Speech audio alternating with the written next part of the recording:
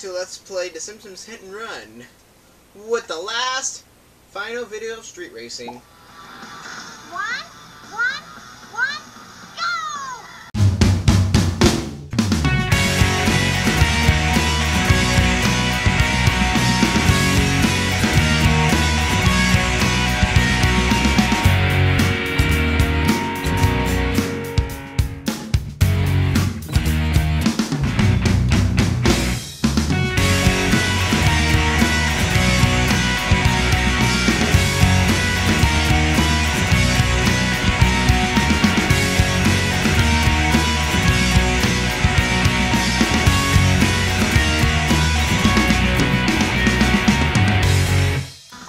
She must get her driving ability from her mother's side.